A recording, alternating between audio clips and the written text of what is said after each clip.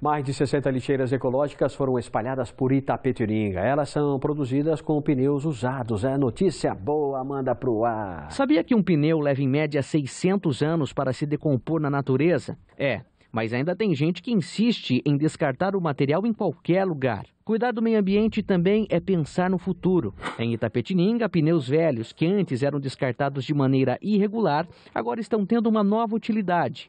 Aqui, eles se transformam em lixeiras ecológicas. Nós tínhamos já a ideia de fazer a lixeira ecológica e juntando então esse recolhimento de pneus, nós formamos uma equipe multidisciplinar, envolvendo o meio ambiente, obras, a saúde com a vigilância. Mais de 60 iguaizinhas a essa já estão espalhadas pela cidade e a ideia é aumentar esse número.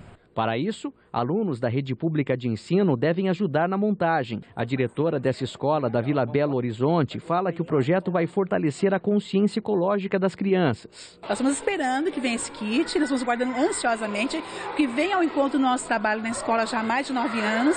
Trabalhamos com um projeto de ciências na escola e o meio ambiente é o foco. Olhos atentos acompanham a explicação e a montagem desse protótipo. Vocês já tinham visto de perto uma lixeira como essa? Não. Nunca? E que que vocês acharam da ideia de fazer uma lixeira? Vocês ajudarem na, na manutenção da cidade, deixar mais bonito e fazer o descarte correto do, do pneu? Não, não. Eu achei legal. Porque daí não vai tacar no rio, no chão, tipo, nos- nas calçadas. Vai tacar tudo no lixo daí. Não precisa ficar tacando no chão. E aí, vai, vai ajudar a fazer a montagem das lixeiras? Sim. Itapetininga tem 84 escolas e cada uma vai ser responsável pela montagem de três lixeiras ecológicas. separando os pneus, fazendo as furações para pé e para água, cortamos os pés e daqui a- logo a gente já começa a mandar enviar essas lixeiras para as escolas, né? Três para cada escola municipal. Fazendo uma pesquisa rápida na internet, o preço mais barato de uma lixeira, dessas que são instaladas em praças públicas, custa em torno de 200 reais.